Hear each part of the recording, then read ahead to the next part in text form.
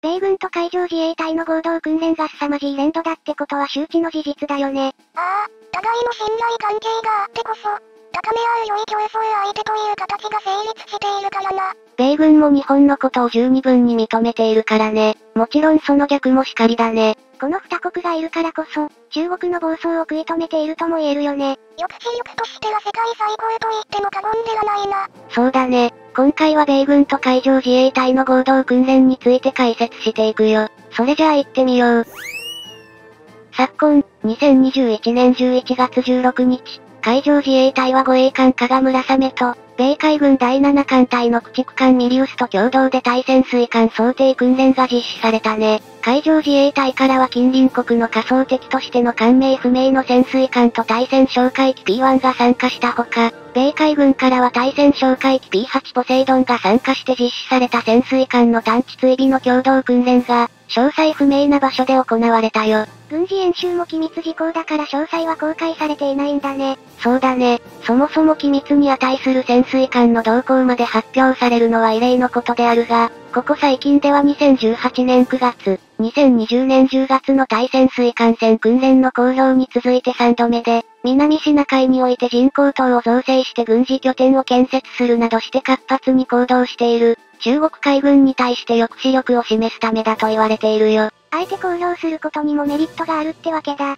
海事護衛艦加賀と村雨は、令和3年度インド太平洋方面派遣部隊 IPD21 として8月下旬から数々の共同訓練を参加していて、今回の共同訓練もその一環であるされ、山村海上幕僚長は記者会見で、どの海域にあっても高度な訓練が実施可能であることは、日米海上総合運用性が高いことを示していると意見を述べているみたい。本訓練が実施された海域の詳細は公開されていないが、フィリピンのルソン島スービック港に近い南シナ海の公海上ではないかと噂されており、訓練内容が海上自衛隊の潜水艦を隣国の敵潜水艦に見立てて、海上と空の上から捜索探知して最終的に駆逐する流れを確認したぜ。南シナ海における海事潜水艦の活動については、2018年9月に安倍晋三元首相がテレビ出演した際に、同近海において潜水艦が15年ぐらい前から訓練を実施して連動向上させていたことを明らかにしているね。しかも、同等の訓練の詳細を明らかにしなくても周辺国は把握しているはずであるとして中国を牽制したが、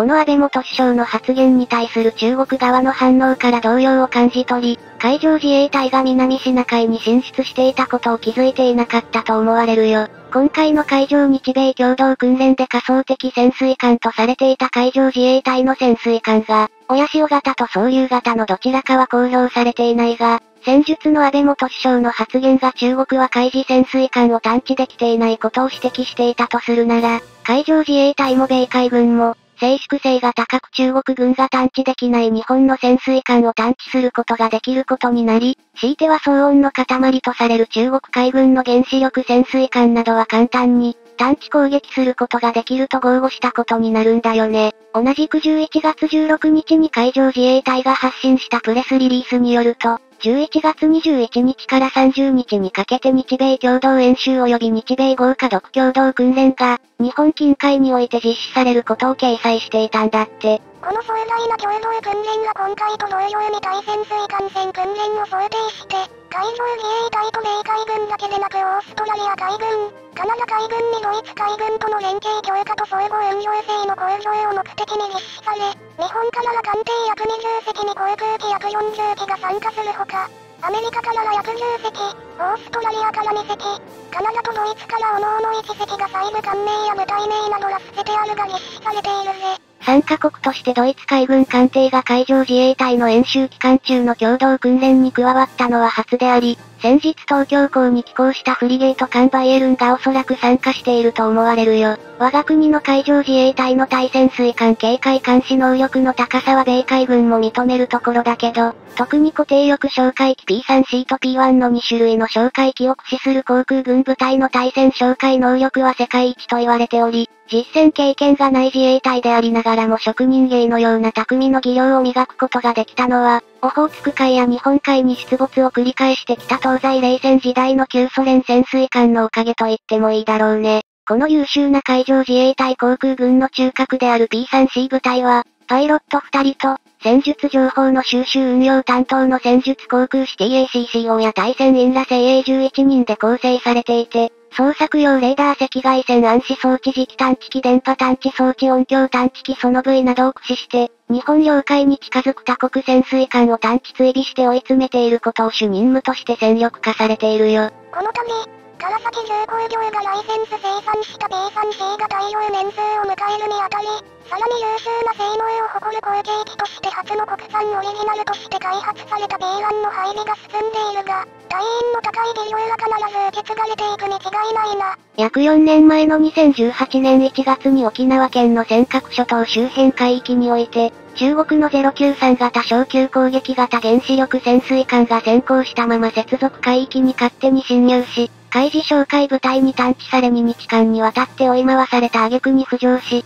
中国国旗を掲げて逃げ去った事件をご存知かな？有名な出来事だから、うちの視聴者さんは知っているよね。この中国海軍原子力潜水艦は日本の対戦哨戒能力を試すつもりで侵入したのではないかと言われているんだけど、この潜水艦が接続海域に先行して侵入した時点で海事哨戒部隊は、中国の原子力潜水艦であることを断定して即報告を上げて内閣にも知らされていたんだ。当時報告を受けた日本政府は中国政府に対して抗議をしたが、相手国は当初そのことを認めなかったため、海上自衛隊は護衛艦や潜水艦から、当該原子力潜水艦に警告とともに実践さながらのアクティブソナーを当て続け威嚇したよ。この威嚇行動に耐えることができず、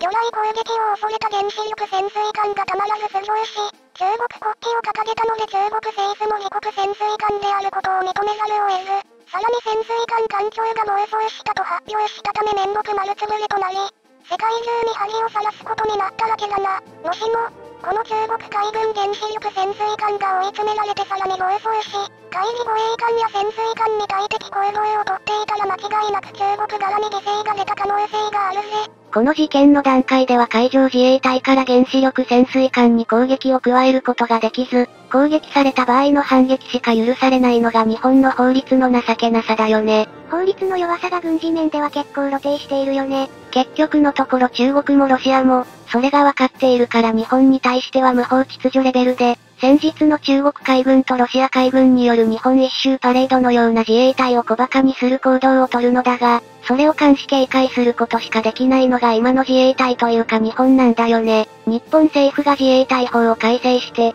自衛隊の呪縛を解いて隊員の命を守ってもらいたいと強く願うよ。それじゃあ今回はこの辺で、よかったら、チャンネル登録してね。いつも見てくれてる皆さん。いつもありがとうございます。これからも見てください。見てください。見てくれてありがとう。それじゃバイバーイ。